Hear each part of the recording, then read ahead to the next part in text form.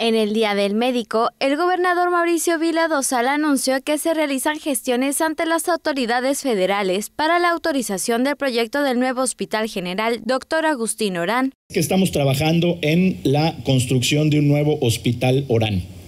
Esto es algo que yo platiqué eh, con el presidente hace año y medio y el presidente me dijo, pues gobernador, haz el proyecto, ve que te lo aprueben y nos volvemos a sentar.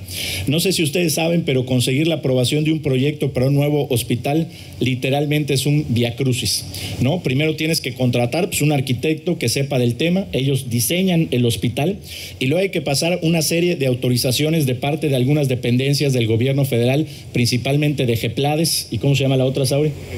De GEDIF, que pues la verdad son temas muy complicados y estamos ya en la parte final de la aprobación y después tendremos que buscar el registro de Hacienda, que eso no es tan complicado y lo sabemos hacer. Viladosal manifestó que la necesidad del nuevo nosocomio radica en que el actual que se inauguró en febrero de 1906 tiene cantidad de parches, arreglos y remedios que hacen más difícil y complicada su operación.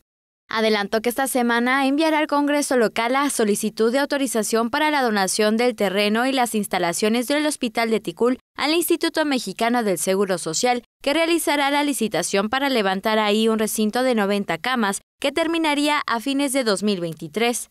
El gobernador reconoció la labor y dedicación de los profesionales de la salud, que junto con el personal de enfermería y hospitalario realizan arduo esfuerzo para enfrentar la emergencia sanitaria en el estado acompañado de la presidenta del Colegio de Médicos de Yucatán, María Elena González Álvarez, Vila Dosal entregó la medalla al mérito médico Hermanos Laviada Rigunaga por su trayectoria y esfuerzo profesional del doctor Raúl Alfredo Marín Rufino.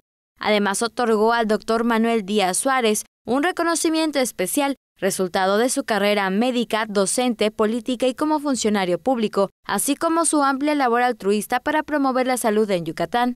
El gobernador entregó reconocimientos del Colegio de Médicos de Yucatán a José Luis Chanucán, Mario Francisco Lizárraga González, César Alejandro Fajardo Ramírez, Ray Cérvulo Vivas Guerrero, Francisco Edilberto Calderón Ojeda, Carlos Enrique Marrufo Olivares y Lourdes Margarita Cahuich Aragón.